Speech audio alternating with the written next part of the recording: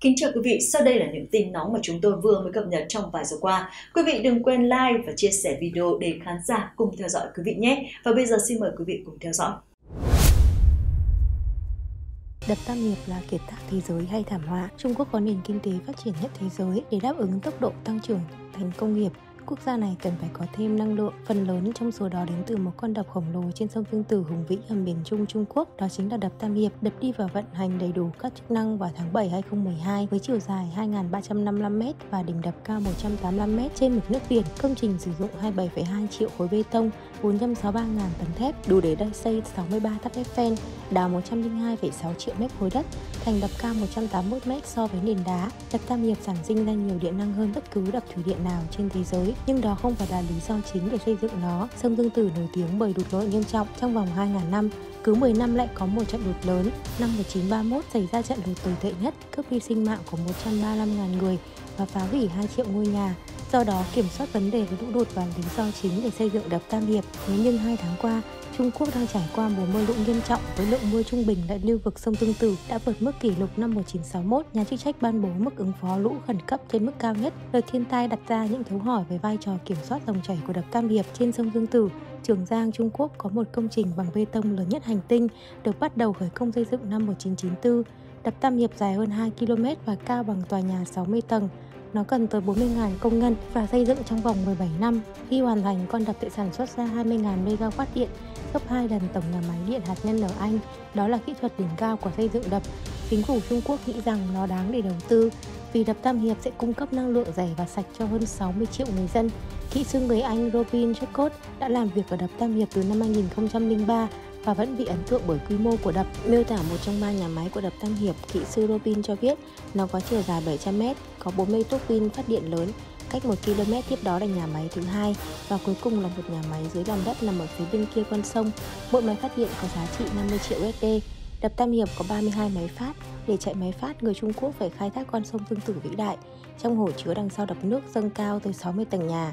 Nước được dẫn qua ống bê tông khổng lồ tới máy phát nước sẽ làm quay tua bin. Chuyển động này được truyền tới máy phát. Máy được gắn các nam châm khổng lồ quay xung quanh cuộn dây đồng để tạo ra điện năng. Chỉ một cỗ máy có thể tạo ra lượng điện năng bằng một nhà máy hạt nhân cỡ nhỏ. Tất cả 32 máy phát tạo ra điện năng đủ cho 60 triệu người dân Trung Quốc. Kỹ sư Robin cho hay dự án này tạo ra tiêu chuẩn mới cho công nghiệp thủy điện thế giới. Nó gấp đôi quy mô thủy điện lớn thứ hai Itaipu ở Brazil và bởi vì nó có cái đầu tiên trong hàng loạt các siêu đập đang được xây dựng ở Trung Quốc. Trước khi để xây dựng được đập Tam Hiệp, người Trung Quốc phải nắn dòng sông Gương Tử, con sông dài 6.000 km, rộng 2 km là con sông lớn nhất ở Trung Quốc đó là thách thức hậu cần to lớn đối với các kỹ sư đập khi con sông Tương Tử dâng lên ở phía sau đập Tam Hiệp. Nó sẽ làm ngập lụt 600 km vuông dọc lưu vực sông. Do đó, chính phủ phải tái định cư cho một triệu người dân ra khỏi khu vực đằng sau đập. Hàng nghìn ngôi nhà phải được xây mới cho việc tái định cư. Sau đó, các kỹ sư có thể bắt đầu ngăn dòng sông. Kỹ sư Robin đánh giá kiểm soát dòng sông có phép siêu công trình được xây dựng là một quyết tâm khổng lồ. Và với con sông Tương Tử, một trong những con sông lớn nhất thế giới, sông rất sâu, nước chảy rất nhanh nên việc xây dựng đập tạm control dam để đảm bảo cho việc xây dựng đập chính là một công đoạn quan trọng. Người Trung Quốc cho rằng việc nắn dòng chảy này phức tạp nhất trong mọi công trình thủy điện. Các kỹ sư bắt đầu làm việc với một loạt đập tạm bằng đá để ngăn chặn một phần sông Tương Tử, trong khi vẫn để mở một phần để nước sông chảy qua. Họ xây hai phần đầu tiên của đập chính trên lòng sông khô giáo, sau đó họ đổ hàng tấn đất xuống sông và xây một đập tạm khác trên đó. Lần này là bê tông, khi dòng sông được chặn lại phía sau, họ đã có thể xây phần cuối cùng của con đập. Sau đó họ phải dỡ bỏ phần đập tạm để nước chảy qua tua bin của đập chính. Kỹ sư Robin kể lại, xây dựng đập tạm khổng lồ là có một thách thức lớn, nhưng làm thế nào để dỡ bỏ nó ở giai đoạn đầu? Khi đập tam hiệp được xây dựng bằng đá có thể dùng các thiết bị truyền thống để phá bỏ đập tạm nhưng ở giai đoạn cuối phải phá bỏ tường bê tông chắc chắn. Nó đòi hỏi những sáng tạo khác. Các kỹ sư Trung Quốc tạo ra các lỗ để nhét thuốc nổ. Ngày 6 tháng 6 2006, họ nhồi 190 tấn thuốc nổ vào nín thở. Con đập tạm mất hàng tháng để xây dựng và bị phá hủy chỉ trong vòng vài giây. Khi đập Tam Hiệp vỡ vụn, nó giải thoát lượng nước khổng lồ đằng sau. Đó là bài toán thử cuối cùng cho đập Tam Hiệp và con đập đã vượt qua. Đập Tam Hiệp được công trình bê tông lên một tầm cao mới. Khối bê tông móng đập có độ dày, chiều cao của đập 180m và dài 2 km, một khối lượng bê tông lớn chưa từng có. Đập Tam Hiệp sử dụng 27,2 triệu mét khối bê tông. Các kỹ sư dùng đủ mọi cách để làm mát tấm. Về cơ bản, họ dùng mọi thứ như trong sách làm mát cốt liệu, vật liệu, cát. Trước khi trộn bê tông, họ thêm nước đá hoặc làm mát mọi thứ để có thể đưa nhiệt độ xuống thấp nhất có thể trước khi nó bắt đầu tự nóng lên. Và ở đây vì có những mùa hè đặc biệt nóng, kỹ sư thậm chí dùng hệ thống phun sương để tạo nên một lớp sương dày bên trên đập với mục đích ngăn tất cả bức xạ nhiệt từ mặt trời chiếu vào bê tông vốn đã nóng từ sẵn bên trong. Đập Tam Hiệp chứng minh rằng kỹ sư có thể xây dựng đập không tưởng miễn là nó được làm mạnh. Nhưng khi nước được giữ lại nhiều hơn, nó tiềm ẩn sức tàn phá lớn hơn. Họ phải đảm bảo rằng con đập của họ không bị phá hủy bởi nước lũ tràn qua. Kỹ sư Robin cho biết, về cơ bản con đập giữ được lượng nước lớn trong quá trình lũ dâng, nó có thể chứa 22 tỷ mét khối nước, sau đó giải phóng nước lũ có thể kiểm soát qua hệ thống 46 cửa xả và các chân đế bên dưới. Thiết kế cửa xả như vậy là để đối phó với áp lực từ nước khi nó chảy xuống từ độ cao hàng trăm mét, sau đó đạt tốc độ rất lớn ở dưới đáp đập.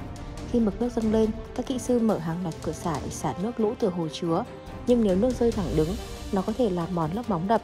Do đó, các kỹ sư lắp thêm các chân đế bê tông, chân đế đập tam hiệp làm tung nước lên cao. Ở trên không nước bị phá thành hạt nhỏ và mất phần lớn tính phá hủy. Nó tiếp xúc mặt nước cách đó 100 mét và không gây hại gì. Do đó, khi mở cửa xả, người dân Trung Quốc không phải lo lắng. Ở đập Tam Hiệp, các kỹ sư cũng đối mặt với vấn đề về giao thông. Con đập nằm trên con sông bận rộn nhất châu Á. Sông Hương Tử là tuyến đường thủy quan trọng với tàu thuyền đi lại từ bờ biển Thượng Hải tới Nghi Sương, tỉnh Hồ Bắc, rồi tới tận thành phố Trùng Khánh.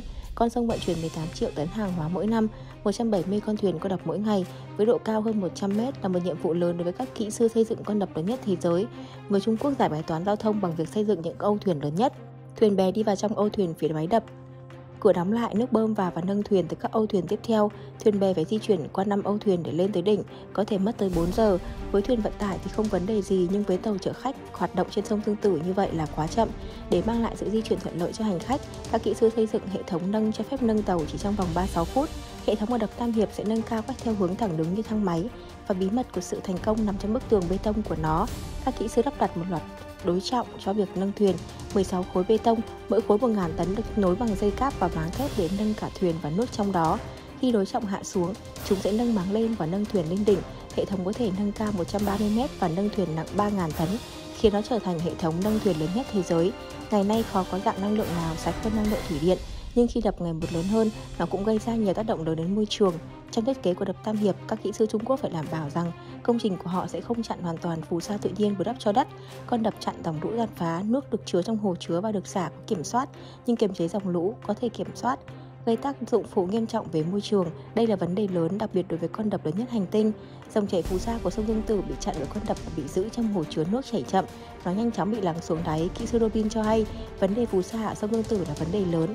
Tổng lượng phù sa lên tới 500 triệu tấn mỗi năm, tương đương 1 km khối phù sa đủ để lấp đầy hàng trăm sân vận động. Đó là một lượng phù sa khổng lồ. Nếu phù sa vẫn bị giữ lại thượng lưu nông dân, ngư dân và thế giới hoang dã đã bị thiếu hụt dinh dưỡng, chảy dài hàng trăm km dưới hạ lưu và hàng tấn phù sa lắng đọng có thể lấp đầy dần hồ chứa, đe dọa bản thân con đập. Về cơ bản, sự lắng động ở hồ chứa sẽ làm giảm sức chứa của hồ, cuối cùng sẽ ảnh hưởng đến khả năng quay tua bin khi phù sa dâng cao. Người Trung Quốc đã khôn ngoan khi sử dụng sức mạnh của nước lũ để đẩy phù sa lắng động ra khỏi hồ chứa và đưa nó xuống hạ lưu. Họ lắp đặt các cửa chống sâu bên dưới đập, mỗi cửa nặng bằng chiếc xe buýt và gần một pít tông thủy lực lớn để nâng lên. Khi cửa được mở, nước lũ sẽ cuốn trôi lớp lắng động đi qua cửa đập. Bằng cách này, chính phủ Trung Quốc hy vọng rằng sẽ còn ít nhất 100 năm trước khi sự lắng động ảnh hưởng tới năng suất của đập. Nhưng ngay cả giải pháp đó cũng không thể đưa toàn bộ phù sa qua đập. Các nhà khoa học tính toán lượng phù sa giữ lại phía sau có thể dao động từ 30% đến 60%, nhưng chính phủ Trung Quốc tin rằng vẫn đáng để xây dựng đập. Họ tin rằng lợi ích xây dựng đập như tạo ra năng lượng sạch, kiểm soát lũ lụt bỏ xa những nhược điểm lớn khi đập Tam Hiệp hoàn thành quy mô của nó là không tưởng, ngay cả khi nhiều tuốc pin còn chưa khởi động, nó đã sản sinh ra nhiều năng lượng hơn bất kỳ con đập nào trên thế giới. Đập Tam Hiệp thực sự là con đập kỳ vĩ nhất thế giới nhưng nó cũng đầy tranh cãi. Năm 2017, một nghiên cứu đăng trên trang tin Future cho rằng sự dịch chuyển của khối lượng nước khổng lồ đập thủy điện Tam Hiệp khiến trái đất quay chậm hơn. Việc đầy 42 tỷ tấn nước tại đập lên cao 175 m so với mực nước biển sẽ làm tăng mô men quán tính của trái đất, qua đó làm chậm chuyển động xoay của địa cầu. Tuy nhiên tác động gây ra là vô cùng nhỏ. Chính phủ Trung Quốc từng ca ngợi đập Tam Hiệp là nguồn cung cấp năng lượng sạch khổng lồ và giúp con người thuần phục dòng sông dài nhất Trung Quốc. Tuy nhiên, những người phản đối xây dựng đập nói trên sẽ gây nên nhiều hậu quả về môi trường và xã hội. Nhiều di sản văn hóa bị nước nhấn chìm do lũ nước trong hồ chứa quá lớn. Các nhà khoa học lo ngại lượng nước trong đất quá lớn sẽ khiến lở đất và nhiều hiện tượng địa chất bất thường khác xảy ra thường xuyên hơn. Tháng 8 2010, chính phủ Trung Quốc thừa nhận họ sẽ phải chi hàng tỷ USD để khắc phục những hậu quả môi trường dọc sông Dương Tử do ảnh hưởng của đập Tam Hiệp gây tình trạng hàng triệu tấn rác đổ xuống sông. Truyền thông địa phương nói rằng ở nhiều vị trí trên sông, rác tạo thành những mảng lớn đến nỗi người dân có thể bước trên chúng. Những mảng rác như vậy có thể gây nghẽn các đập. Trước những lo lắng về nguy cơ vỡ đập, giới chức Trung Quốc khẳng định cấu trúc của đập Tam Hiệp rất an toàn. Nhưng theo nhà thủy văn học Wang Weilu, chất lượng của con đập không tốt và không thể chống lũ lụt. Nhà thủy văn học Quang cho hay sau trận lũ lụt nghiêm trọng năm 1998 ở lưu vực sông Dương Tử khiến hơn 4.000 người thiệt mạng, Thủ tướng Trung Quốc lúc bấy giờ đã thuê các chuyên gia phương Tây để đánh giá, kiểm soát chất lượng của công trình. Các chuyên gia nói rằng mối hàn thép là đập không đáp ứng tiêu chuẩn. Các công nhân Trung Quốc khi đã tỏ ra không hài lòng, cáo buộc những chỉ trích từ chuyên gia phương Tây là hành động phân biệt chủng tộc. Theo nhà thủy văn học Hoang, đập Tam Hiệp không có một cơ quan riêng biệt để kiểm tra chất lượng công trình. Đội ngũ thiết kế và xây dựng con đập tự thực hiện công đoạn này. Khi đập mới đi vào vận hành, truyền thông Trung Quốc tuyên bố đập Tam Hiệp có thể chống lại trận lũ tồi tệ nhất trong một người ngàn năm. Nhiều năm sau họ giảm còn xuống 1.000 năm và tiếp tục một năm sau, số chỉ còn 100 năm. Hồi năm ngoái, các bức ảnh trên Google Maps cho thấy một đoạn của đập Tam Hiệp bị lõm xuống giống như là đang phải chịu sức ép rất lớn. Tập đoàn đập Tam Hiệp sau đó lên tiếng chấn an công trình vẫn an toàn, rằng những biến dạng vẫn có thể xảy ra nhưng không làm ảnh hưởng đến đập bởi vẫn trong độ đàn hồi an toàn, hoài nghi vai trò cắt lũ. Nhiều sông nhánh thuộc hệ thống sông Trường Giang đã tràn bờ tại nhiều nơi. Giới chức tỉnh Hồ Bắc phải điều trực thăng chở đá thả xuống khu vực đê vỡ để ngăn nước tràn vào. Các đội hộ đê phải đi kiểm tra. Nhiều khu vực hàng nghìn bao cát được chuẩn bị để đối phó với sự cố vỡ đê. Có thể thấy đặt Tam Hiệp được kỳ vọng kiểm soát lũ trên sông Trường Giang, song nó chưa đáp ứng được mục tiêu cắt lũ theo thiết kế. Kính thưa quý vị khán giả, nếu như có những đóng góp cho chương trình, xin quý vị hãy để lại comment ở bên dưới hoặc là viết thư cho chúng tôi. Một lần nữa thì Phương Thúy xin thay mặt cho ekip làm chương trình. Cảm ơn quý vị đã theo dõi. Xin kính chào tạm biệt và hẹn gặp lại.